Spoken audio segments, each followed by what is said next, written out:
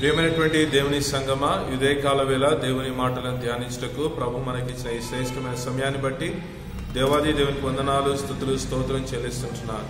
మరోసారి మీ అందరికి కూడా నూతన సంవత్సరపు శుభములు తెలియజేస్తుంటున్నాను. దేవుడి సంవత్సరం అంతా కూడా శాంతి సమాధానము తన కాపుదల భద్రతను మీకు మీ కుటుంబాలకు దయచేయాలని ప్రార్థిస్తుంటున్నాను. అంతేకాదు దేవుడు మీ పనులలో తోడై ఉండి ఆశీర్వదించి మీరు అనేక మందికి దీవెనకరంగా ఆశీర్వాదకరంగా ఉండాలని ప్రార్థిస్తూ ఉంటున్నాను. ప్రదేన్ బిడ్డారే ఇదే కాల వేళ అపోస్ల కార్యము పదహారో అధ్యాయము మరి ఇరవై నాలుగు నుండి ఇరవై ఆరు వచనాలు మనం ధ్యానిస్తాం. ఇరవై ఐదు ఇరవై ఆరు వచనాలు నేను చదువుతున్నాను. అయితే మధ్యరాత్రి వేళను పౌలును శిలయు దేవునికి ప్రార్థించుచు కీర్తనలు పాడుచుండిరి ఖైదీయులు వినుచుండిరి. అప్పుడు అకస్మాత్తుగా మహా భూకంపము కలిగెను. చెరసాల పునాదులు అదిరేను. వెంటనే తలుపులన్నీ తెర తెరుచుకొనెను. అందరి బంధకములు ఊడెను. ప్రేదేన్ బిడ్లారా అపోస్ల కార్యాన్ని మనం చదివినప్పుడు ఈ అపోస్ల కార్యం గ్రంథానికి ఇంకో పేరు కూడా ఇవ్వబడింది. ఇది పరిశుద్ధాత్మ దేవుని గ్రంథం అని కూడా అంటారు. మన అపోస్ల కార్యము రెండో అధ్యాయాన్ని మనం చదువుకున్నప్పుడు పరిశుద్ధాత్మ దేవుడు సంఘంపై కుమరించబడినప్పుడు ఆ పరిశుద్ధాత్మ ద్వారా నింపబడినటువంటి సంఘము లోకంలోనికి వెళ్ళినప్పుడు బలమైన గొప్ప కార్యాలను దేవుని కొరకు జరిపించినట్లుగా మనం చూస్తుంటున్నాం. ఇదే కాల వేళ ఒక ఆధ్యాత్మిక సత్యాన్ని మనం ఇక్కడ చూడగలం. ఏంటంటే సంఘము ప్రభావితంగా ఉండాలంటే సంఘము దేవుని కొరకు గొప్పగా వాడబడాలంటే సంఘము ఆత్మ ద్వారా నింపబడి ఉండాలి. నీవు నేను ఆత్మ ద్వారా నింపబడి ప్రతిరోజున మరి మనము దేవుని చేత నడిపించబడాలి. అందుకనే పౌలు భక్తుడు ఎఫ్ఎసి పత్రికలో అంటాడు ఆత్మ ద్వారా నింపబడి ఉండు అని అంటాడు. ఆత్మ ద్వారా నింపబడి ఉండు be filled with the Holy Spirit అని అంటాడు. ఇదే కాలవేళ మరి యొక్క గ్రంథంని మనం ధ్యానించినప్పుడు పరిశుద్ధాత్మ కార్యాన్ని మనం చూస్తుంటున్నాం. అంతేకాదు ఈ యొక్క అపోస్ల కార్యం అనే ఈ గ్రంథము it is a mandate for the church అని కూడా అంటారు. అంటే సంఘము ఎలా మరి నడవాలనో సంఘంలో జరిగే కార్యాలు క్రియలన్నీ కూడా ఈ అధ్యాయం మీద ఆధారం చేసుకునే మరి సంఘంలో కార్యక్రమాలు జరుగుతుంటున్నాయి.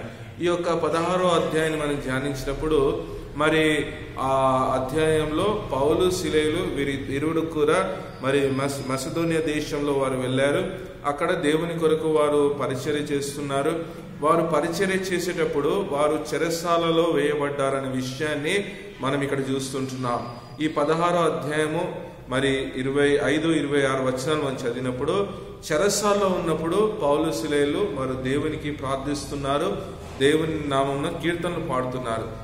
ఈ యొక్క ఉదయకాల వేళ ఒక అంశం ఏమిటంటే ప్రార్థన ప్రభావము. ప్రార్థన దాని ప్రభావము. ప్రియదేని బిడ్డారా అపోస్ల కార్యంలో వారంత గొప్ప కార్యాలు లేదా అంత మహా గొప్ప కార్యాలు దేవుని కొరకు చేయగలిగారంటే దానికి మూల కారణము ప్రార్థన. ఈ యొక్క ఉదయకాల వేళ మరి ఈ యొక్క అధ్యాయంలో మనం చూసినట్లయితే పౌలు శిలేలు వారు బంధకంలో ఉన్నారు. అలాంటి సమయంలో వారు ప్రార్థిస్తున్నారు. ప్రార్థించినప్పుడు వారికి కలిగినటువంటి లాభాలు ఏ రీతిగా ఉందో ఈ అధ్యాయాన్ని చూద్దాం. మొట్టమొదటిది మనం ఇరవై నాలుగు వచ్చిన మనం చూసినట్లయితే ఇది బందీల ప్రార్థన. ఇది బందీల ప్రార్థన. అంటే పౌలు శిలైలు ఇరువురు కూడా చెరసాలలో వేయబడ్డారు. ఎందుకు వేయబడ్డారంటే ఒక చిన్నది మరి దయ్యం పట్టి ఉన్నప్పుడు ఆ దయ్యం నుండి తనను విడిపించాడు. ఆ విడిపించినప్పుడు మరి తన ద్వారా మరి యజమానులు ఎవరైతే లాభం పొందేవారో మరి వారు కోపం కలిగి ఈ పౌలను శిలైను వారిని ఆ యొక్క ఊరి న్యాయాధిపతులు ఎదు ఎదుట వారిని తీసుకొని వచ్చి మరి వారు వారి వారిని కొట్టి చెరసాల నాయకునికి వారిని అప్పజెప్పి వారిని బంధింపజేసి వారి చెరసాలలో వేశారు. వీరు బంధింపబడినటువంటి వారు ఈ ప్రార్థన బంధింపబడినటువంటి వారిది ప్రార్థన. ప్రదేన్ బిడ్లారా యేసుక్రీస్తు ప్రభు వారు ఒక మాట అన్నారు. ఏమన్నారంటే చెరసాల్లో ఉన్నటువంటి వారిని బంధకంలో ఉన్నటువంటి వారిని విడిపించుటకు నేను ఈ లోకానికి వచ్చాడని దేవుని వాక్యంలో మనం చూస్తుంటున్నాం. ఇదే కాలవేళ బంధకంలో ఉన్నప్పుడు బాధపడొద్దండి. బంధకలం బంధకంలో ఉన్నప్పుడు మనం బాధపడొద్దు. వీళ్ళు బందీ అయి ఉన్నారు వారు ప్రార్థిస్తున్నారు. బాధపడకుండా దుఃఖపడకుండా చింతించకుండా మనము బంధకంలో ఉన్నప్పుడు మనము ప్రార్థించేవారిగా ఉండాలి. ఈ యొక్క మొదటి సత్యాన్ని మనం చూసినట్లయితే ఇది బందీల ప్రార్థన బందీల ప్రార్థన. పౌలు శిలైలు వీరు ప్రార్థిస్తూ ఉన్నారు. ఆ తర్వాత ఇరవై ఐదో వచనాన్ని మనం చదివినప్పుడు ఇది బలమైన ప్రార్థన ఇది బలమైన ప్రార్థన. వారు ఆ చెరసాలలో వేయబడినప్పుడు ఏ నిరుత్సాహంతో లేదా వారు దుఃఖపడుతూ అయ్యో మరి వారు చింతిస్తూ వారు వారు అక్కడ కూర్చోలేదండి. వారు బలమైన ప్రార్థనను వారు చేస్తున్నారు. వారు బలమైన ప్రార్థన వారు చేస్తున్నారు. ప్రియదేని బిడ్డారా ఇరవై ఐదో వచనాన్ని మనం చదివినట్లయితే అపోస్ల కార్యం పదహారో అధ్యాయం ఇరవై ఐదో వచనంలో పౌలు శిలైలు ఇరువురు కూడా వారు ఆ చిరస్థలలో ఉన్నప్పుడు వారు బలమైన ప్రార్థనలు చేస్తున్నారు. ఇదే కాలవేళ మనము బలమైన ప్రార్థనలు చేసేవారిగా ఉండాలండి. బలహీనమైనటువంటి వారు చేసే ప్రార్థనలు కాదు బలమైన ప్రార్థనలు మనము చేసేవారిగా ఉండాలి. దేవుని వాక్యంలో మనం చూసినట్లయితే బలమైన ప్రార్థనలు మనం చూస్తుంటున్నాం. బలమైన ప్రార్థనలు. దేవుని సన్నిధిలో వారు ప్రార్థించినప్పుడు దేవుడు వారికి జవాబుని దయచేశారు. ఇదే కాలం వేళ మన ప్రార్థన ఎలా ఉంది? బలంగా ఉందా? బలహీనంగా ఉందా? ఈ ఈ యొక్క అధ్యాయంలో మనం చూసినట్లయితే ఇరవై ఐదో వచనంలో వారు బలమైన ప్రార్థన చేశారు. ఆ తర్వాత మూడో మూడో సత్యాన్ని మనం చూసినట్లయితే ఇరవై ఆరో వచనంలో బంధకాలు తెంపివేసిన ప్రార్థన. బంధకాలు తెంపివేసిన ప్రార్థన. బందీల ప్రార్థన ఇరవై నాలుగో వచనంలో ఇరవై ఐదో వచనంలో బలమైన ప్రార్థన ఇరవై ఆరో వచనంలో బంధకాలను తెంపివేసిన ప్రార్థన. ఇరవై ఆరో వచనం మనం ఇంతకుముందు చదువుకున్నాం. చెరసాలో ఉన్నప్పుడు గొప్ప భూకంపం కలిగింది. మరి వారికి ఉన్నటువంటి ఆ బంధకములు ఓడిపోయినట్లుగా మనం చూస్తున్నాం. ప్రదేన్ బిళ్ళారా ప్రార్థించినప్పుడు బంధకాల నుండి విడిపించే దేవుడిగా మనకున్నాడు. ఇదే కాలవేళ అట్టి ప్రార్థన జీవితం మనమందరం కూడా కలిగి ఉండాలని ప్రార్థిస్తున్నాను ప్రార్థించినప్పుడు ఏదో ఆచార రీతిగా మనం ప్రార్థించొద్దండి. ఏదో ప్రార్థించాలి కదా ఒక అలవాటుగా మనం ప్రార్థించొద్దండి. ప్రార్థన బలమైనదిగా ఉండాలి. బలమైన ప్రార్థన ప్రార్థించాలి. బంధకం నుండి విడిపించగలిగే ఆ దేవుడు మన ప్రార్థనకు జవాబిచ్చేవాడుగా ఉన్నారు.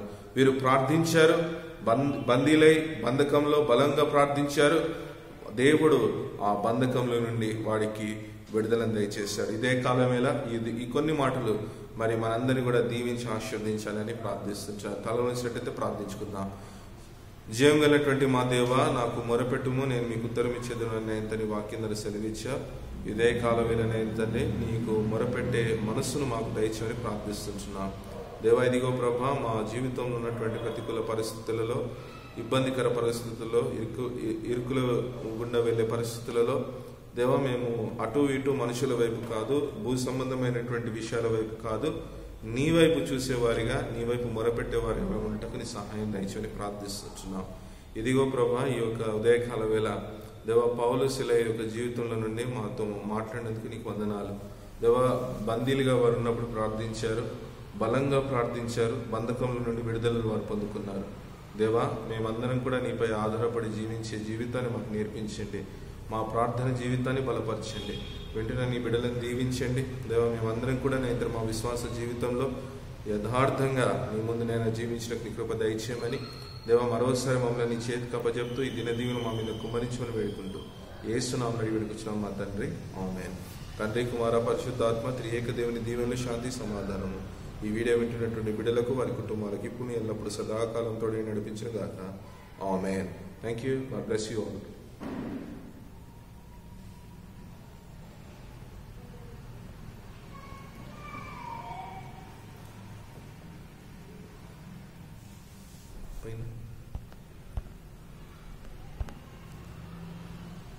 ఏం ప్రాబ్లం రాలేదు స్పేస్ గీసి.